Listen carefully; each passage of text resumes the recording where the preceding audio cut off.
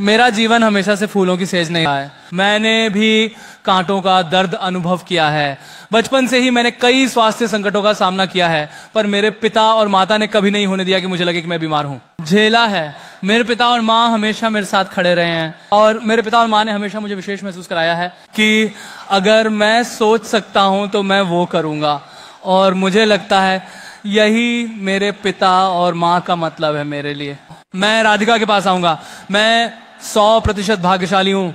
इसमें कोई शक नहीं है। मुझे भी नहीं पता मैंने राधिका को कैसे पाया। राधिका पिछले सात वर्षों से ऐसा लगता है जैसे मैंने राधिका को कल ही मिला था। लेकिन हर दिन मेरा प्यार उनके लिए और भी गहरा होता जा रहा है।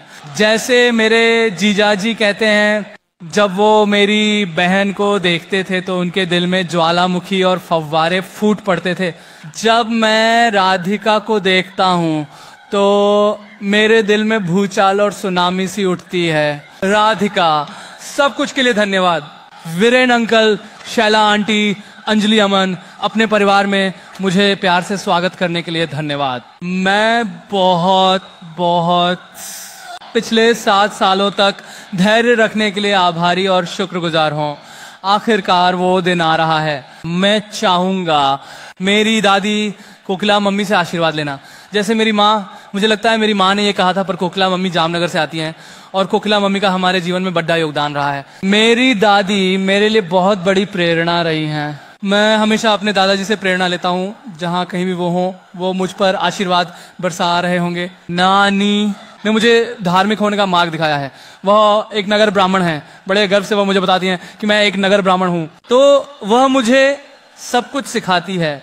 जब मैं छोटा था तो ज़्यादातर समय मैंने अपनी नानी के साथ बिताया। इसीलिए उसने मुझे सब कुछ सिखाया। और मेरे पास राधिका की नानी है। राधिका के नाना हमें ऊपर से आशीर्वाद दे रहे हैं। मेरे नाना भी हमें ऊपर से आशीर्वाद दे रहे हैं। अनंत और मेरे लिए जामनगर हमारे दिल का घर है। यह वह जगह है जहाँ हम बड़े हुए, जहाँ हम दोस्त बने, जहाँ हम प्यार में पड़े और जहाँ हमने अपने संबंध बनाए। अनंत, और मैं बहुत भाग्यशाली है कि हमारे पास कुछ सबसे अद्भुत महिलाएँ हैं। नीता आंटे जो अपने बच्चों के लिए स्वर्ग और पृथ्वी को हिला देंगी, जो हमारी सबसे ज़बरदस्त रक्षक है। अंजलि, आप मेरे अंदर की हर अच्छाई के पीछे की ताकत है। माँ, तुम एक सुरक्षित स्थान हो। तुमने हमें सिखाया है कैसे हम अपने सबसे असली रूप में हो सकते हैं। हमारे परिवार के पुरुष भी खास होते हैं। पापा, मैंने आपको नहीं भूला। आपने अपने आसपास की तीन महिलाओं का आत्मविश्वास सबसे अधिक प्यार और ध्यान से बनाया है। आपने जो उदाहरण पिता और पति के रूप में दिया है, उसने मेरे जीवन को कई मायनों में आकार दिया है। आपको कभी पता नहीं चलेगा, मेरे भाई आनंद, अक्कू और अमन, आप हमारी ज़िंदगी में बहुत हँसी लाते हो। तुम हमारे असली कॉमेडी किंग हो, लेकिन एक ही समय में आप हमारे सबसे भरोसेमंद साथी हैं। और मुकेश चाचा आप हमारे रिश्ते की बहुत शुरुआत से मेरे जीवन में एक पिता की तरह रहे हैं और मैं सच में चाहता हूँ कि हर किसी के लिए ऐसा हो।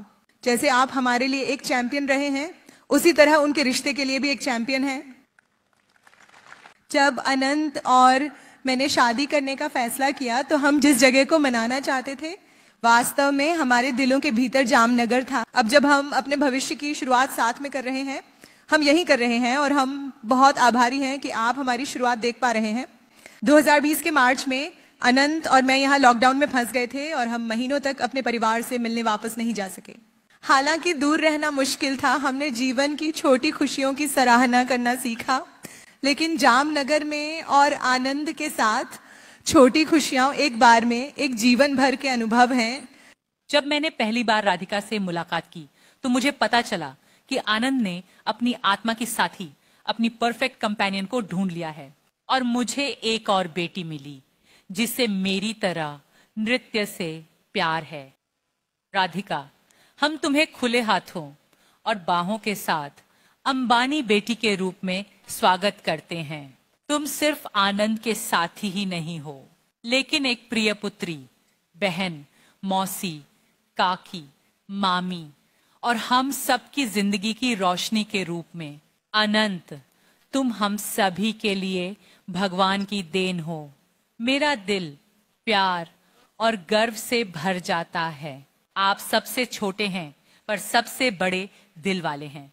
आप सबसे दयालु हैं, पर सबसे मज़बूत संकल्प वाले हैं। लोग मुझसे पूछते हैं, आनंद ने वंतारा कब शुरू किया? मुझे नहीं लगता कि कोई शुरुआती तारीख है। ये हमेशा से ही उसके दिल में रहा है। उन्होंने वर्षों में इस संस्था को और अधिक औपचारिक बनाने में सक्षम रहे हैं। मुझे यह देखने का सौभाग्य मिला है कि अनंत और उनकी टीम ने इस दृष्टि को साकार करने के लिए अपने दिलों और आत्माओं को कैसे समर्पित किया है। किसी ने मुझसे एक बार कहा था, जब आप एक साथी ढूंढते हैं तो आप वास्तव में क्या पाते हैं? आप जो वास्तव में पाते हैं, वह है किसी को अपने जीवन का गवाह बनाना। इस धरती पर एक अरब से अधिक लोग हैं, और एक जीवन वास्तव में क्या मायने रखता है? लेकिन जब तुम किसी को ढूंढते हो तो आप किसी ऐसे व्यक्ति को वादा करते हो जो सब कुछ की परवाह करे? अच्छे, बुरे, सुंदर, साहसी, दुखद, सामान्य। तुम कहते हो कि मैं तुम्हें हर दिन देखूँगा। तुम्हारा जीवन अनदेखा नहीं जाएगा, क्योंकि मैं इसे नोटिस करूँगा। तुम्हारा जीवन अनदेखा नहीं जाएगा, क्योंकि मैं इसे देखूँगा। आनंद, तुम्हारे सुंदर जीवन का साक्षी बनना मेरे लिए एक आशीर्वाद है।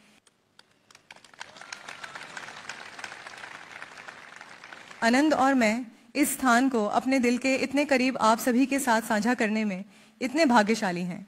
जामनगर। यह सिर्फ़ यह दिखाने का उदाहरण नहीं है कि भारतीय उद्योग कितना विस्तृत हो सकता है। ये यह दिखाने का उदाहरण है कि एक मानव हृदय कितना विस्तृत हो सकता है। आनंद के दादाजी। श्री धीरू भाई अंबानी ने यहाँ विश्व का सबसे बड़ा टाउनशिप खोलने का सपना देखा था।